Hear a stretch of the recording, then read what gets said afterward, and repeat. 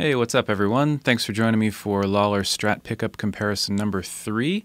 This time we're doing the Klein Jazzy Cats against the Lollar Blondes and the Lollar Tweeds. At the time I was trying to replace the Made in Mexico pickups in my Strat, I came upon the Jazzy Cats and they were often compared to the Lollar Blondes. And after hearing all these together, I thought it was more appropriate to compare them to the Tweeds and the Blondes. I thought the Jazzy Cats were well in the range of these two Lollar sets, so let's listen to the clips and I'll talk more on the end about what I thought. All right, here we go.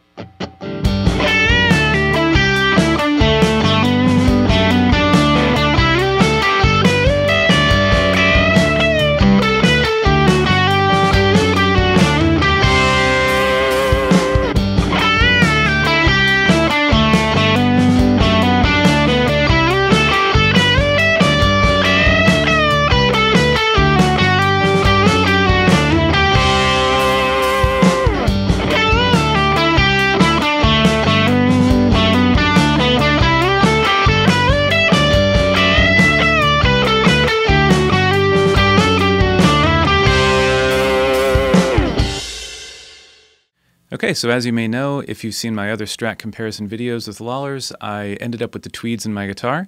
Um, I really love those pickups, but I mean, they're compared against a lot of great pickups in the comparisons that I did.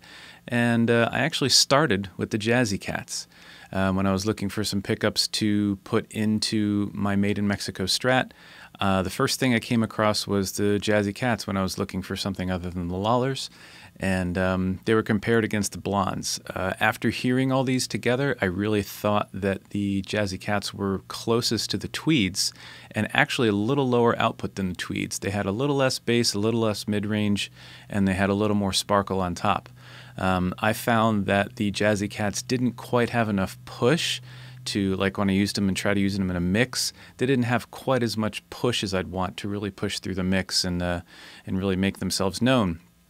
Um, and uh, I found that the Tweeds just really had enough of that mid range and enough of that bass to kind of push the amp a little bit harder. But still, I mean, the Tweeds and the Jazzy Cats are definitely the lowest output of all the pickups I've compared here. So, all right, so let me know what you think in the comments. Like the video, subscribe if you want to see more videos from me in the future, and I'll see you next time.